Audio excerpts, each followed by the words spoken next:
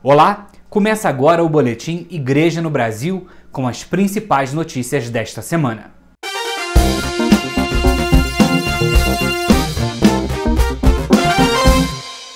Devido ao agravamento da pandemia do coronavírus e das trágicas consequências na vida do povo brasileiro, do Sistema Único de Saúde e do Brasil, as instituições signatárias do Pacto pela Vida e pelo Brasil, Conferência Nacional dos Bispos, Ordem dos Advogados do Brasil, Comissão de Defesa dos Direitos Humanos Dom Paulo Evaristo Arnes, Academia Brasileira de Ciências, Associação Brasileira de Imprensa e Sociedade Brasileira para o Progresso da Ciência lançaram nota na tarde da última quinta-feira, 11 de março. Segundo o documento intitulado O Povo Não Pode Pagar com a Própria Vida, abre aspas. O vírus circula de norte a sul do Brasil, replicando cepas, afetando diferentes grupos etários e castigando os mais vulneráveis. Fecha aspas. Ainda na nota, as entidades se solidarizam com as famílias que perderam entes queridos e aponta a urgente necessidade de maior empenho e integração dos três poderes executivo, legislativo e judiciário do Brasil e entre os estados e municípios na busca por encontrar soluções para enfrentar a pandemia. As organizações fazem também um apelo especial à juventude. Abre aspas. O vírus está infectando e matando os mais jovens e saudáveis, valendo-se deles como vetores de transmissão. Que a juventude brasileira assuma o seu protagonismo histórico na defesa da vida e do país, desconstruindo o negacionismo que agencia a morte, fecha aspas, afirma o documento. O Pacto pela Vida e pelo Brasil foi lançado no Dia Mundial da Saúde, 7 de abril de 2020, pela CNBB, juntamente com a OAB, a Comissão Arnes, a Academia Brasileira de Ciências, a Associação Brasileira de Imprensa e a Sociedade Brasileira para o Progresso da Ciência. A íntegra da nota está no nosso portal cnbb.org.br. Morreu na noite da última quinta-feira, dia 11 de março, o arcebispo de Cascavel, no Paraná, Dom Mauro Aparecido dos Santos, vítima da Covid-19. Segundo a arquidiocese, o bispo estava internado desde o dia 16 de fevereiro, quando apresentou sintomas característicos da doença. Devido ao agravamento da doença, o arcebispo precisou ser intubado na madrugada do dia 19 de fevereiro. O prelado estava se recuperando bem e no dia 27 de fevereiro os médicos retiraram a sedação. No entanto, com seu estado de saúde agravado na última terça-feira, dia 9 de março, ele foi novamente intubado, mas não resistiu. Nascido em 9 de novembro de 1954, na cidade de Fartura, em São Paulo, foi ordenado sacerdote em 13 de maio de 1984 em Jacarezinho, no Paraná, onde exerceu a missão como padre. Foi também reitor do seminário, chanceler da Cúria Diocesana e pároco da Catedral de Jacarezinho. Em 14 de agosto de 98, foi nomeado bispo coadjutor de Campo Mourão, no Paraná, pelo Papa João Paulo II, tornando-se bispo titular em fevereiro de 99, onde permaneceu até outubro de 2007, quando foi nomeado arcebispo de Cascavel pelo Papa Bento XVI. Dom Mauro também foi bispo administrador da Diocese de Umuarama em 2002. Foi vice-presidente do Regional Sul 2 da CNBB de março de 2012 a julho de 2014, quando foi eleito presidente do regional, onde permaneceu até maio de 2019. Aos 66 anos, Dom Mauro Aparecido dos Santos é o quarto bispo da igreja no Brasil que perde a vida por causa da Covid-19 desde o início da pandemia. O caso anterior foi do arcebispo emérito do Rio de Janeiro, cardeal Eusébio Scheid, que faleceu no dia 13 de janeiro. Além dele, Dom Henrique Soares da Costa, bispo de Palmares, em Pernambuco, faleceu dia 18 de julho, aos 57 anos de idade, e Dom Aldo Pagoto, arcebispo emérito da Paraíba, que morreu em abril, aos 70 anos de idade, também vítima da Covid-19. O levantamento de bispos que morreram por causa da Covid-19 foi realizado pela Comissão Nacional de Presbíteros, organismo vinculado à CNBB e divulgado no dia 2 de março. Os dados apresentados pela CNP foram consolidados com base em consultas aos regionais da CNBB. A conferência enviou nota de pesar pelo falecimento de Dom Mauro Aparecido dos Santos. Na próxima sexta-feira, dia 19 de março, dia de São José, padroeiro universal da Igreja, será aberto o ano Família Amores Letícia. Convocado pelo Papa Francisco, o ano especial será celebrado até o dia 26 de junho de 2022, quando acontece o décimo Encontro Mundial das Famílias com o Papa em Roma. No Brasil, a Comissão Episcopal Pastoral para a Vida e a Família da CNBB preparou uma programação especial para a abertura que contará com a celebração da Santa Missa, presidida pelo arcebispo de Belo Horizonte e presidente da CNBB, Dom Valmor Oliveira de Azevedo, direto do Santuário Arquidiocesano de São José, em BH. Às 15 horas, horário de Brasília, haverá um momento de oração pelo Brasil e às 20 horas, uma live com os bispos membros da Comissão para a Vida e a Família da CNBB, Dom Ricardo Hoppers, presidente, Dom Armando Martim Gutierrez e Dom Bruno Eliseu Versari, além do casal coordenador nacional da Pastoral Familiar, Luiz e Carmen Stolfi. No próximo dia 22 de março, completa um ano que a Comissão Episcopal Pastoral para a Liturgia da CNBB disponibilizou para download o primeiro subsídio Celebrar em Família. O material começou a ser elaborado diante da necessidade de isolamento social para enfrentar a pandemia do coronavírus. Na última quarta-feira, dia 10 de março, a comissão se reuniu e, entre outros assuntos, avaliou o primeiro ano do subsídio.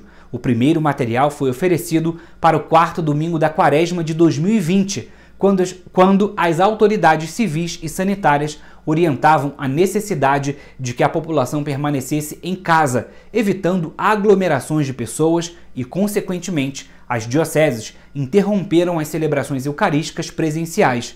O subsídio da celebração em família foi uma oportunidade de fortalecer a igreja doméstica ao celebrar o Dia do Senhor com os familiares nas casas. Desde a primeira publicação, foram mais de 60 roteiros disponibilizados no portal da CNBB. Já estão abertas as inscrições para o segundo seminário Sanando as Próprias Feridas, promovido pela Comissão Especial de Proteção da Criança e do Adolescente da CNBB pela Conferência dos Religiosos do Brasil, a CRB, e o núcleo Luxmundi. O seminário vai acontecer de 8 a 10 de abril totalmente online. Esta edição vai aprofundar o pedido de conversão e promoção de ações concretas expresso na carta apostólica Vos Etis Lux Mundi do Papa Francisco. De acordo com a organização, a proposta do seminário é contribuir para que as comunidades estejam melhores preparadas para prevenir e enfrentar esses fenômenos à luz daquilo que o Evangelho e a Igreja orientam, proporcionando ambientes seguros para as crianças, adolescentes e pessoas vulneráveis no âmbito da Igreja Católica do Brasil. O seminário vai contar com a presença de professores brasileiros e de um grupo de trabalho da Pontifícia Comissão de Proteção do Menor de Roma. A inscrição custa 50 reais e os interessados podem fazer a inscrição clicando no banner do site crbnacional.org.br. Neste período de preparação para a celebração da Páscoa, a Pastoral Juvenil da Comissão para a Juventude da CNBB propõe não só aos jovens, mas para toda a família, fazerem o Retiro Quaresmal Caminho de Paz. São vídeos, meditações, roteiros de oração e áudios que vão ajudar na condução desse momento de oração para o caminhar com Cristo, que é a nossa paz, conforme inspiração bíblica da campanha da Fraternidade Ecumênica 2021. A cada semana serão oferecidas reflexões a partir do Evangelho do domingo correspondente e os materiais para colaborar com a vivência do Retiro Quaresmal. Todo esse material pode ser acessado no site jovensconectados.org.br. Está aberto o credenciamento para veículos de comunicação e jornalistas que desejam cobrir a 58ª Assembleia Geral da CNBB, que vai acontecer de 12 a 16 de abril. Para se inscrever, basta preencher o formulário que já está disponível no nosso portal cnbb.org.br. O credenciamento pode ser feito até o dia 9 de abril. Por causa da pandemia da Covid-19, a Assembleia será totalmente online com atividades pela manhã e à tarde, com coletiva de imprensa, sempre a uma da tarde, horário de Brasília. O tema central da Assembleia diz respeito ao pilar da palavra, proposto pelas diretrizes gerais da ação evangelizadora da Igreja no Brasil. Mesmo sem a possibilidade de votação de um documento, será debatido o tema Casas da Palavra, animação bíblica da vida e da pastoral nas comunidades eclesiais missionárias e outros assuntos relacionados à atuação da Igreja Católica no Brasil. Mais detalhes no nosso portal. Um grupo de 25 marinheiros do Kiribati, pequeno país localizado na Oceania, que estão acolhidos desde o ano passado, início da pandemia, na Casa Estela Mares em Santos, em São Paulo, organizada pelo Apostolado do Mar, vinculado ao setor de mobilidade humana da Comissão para Ação Sociotransformadora da CNBB, ainda não conseguiu retornar ao país de origem. Segundo a Organização Mundial da Saúde, nenhum caso de Covid foi registrado no pequeno país do arquipélago do Pacífico, em função de ter fechado totalmente as fronteiras. O país está aceitando a repatriação do grupo desde que observadas algumas condições. No caso deles, que estão no Brasil, um país com alto risco de contaminação da Covid-19, as dificuldades aumentam. Seria necessário encontrar um país próximo com baixo índice de contaminação para acolher o grupo em quarentena antes de retornar ao país de origem. Os marinheiros começaram a desembarcar no Porto de Santos em grupos pequenos e foram direto para a Casa Estela Mares, onde aguardam a repatriação. Segundo a coordenação da casa, esses marinheiros fazem parte de um grupo de cerca de 400 mil marinheiros no mundo que não conseguem voltar aos países de origem por causa da pandemia. O Apostolado do Mar é uma missão da Igreja Católica presente no mundo inteiro, especialmente nos portos da América Latina desde 1920 e tem como público-alvo os marinheiros, pescadores, trabalhadores, estivadores e todos aqueles que vivem do mar.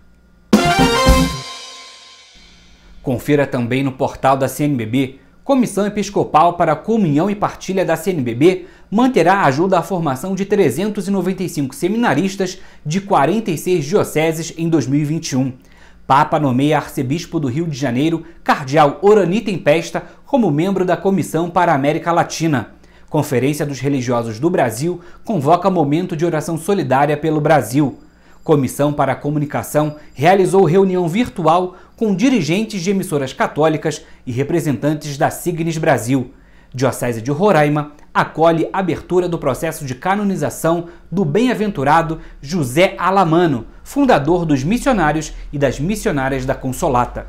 O boletim Igreja no Brasil fica por aqui. Acompanhe as novidades da CNBB acessando o nosso portal cnbb.org.br ou pelas nossas redes sociais arroba CNBB Nacional. E claro, não deixe de se inscrever em nosso canal, além de curtir e compartilhar o conteúdo. Até a próxima!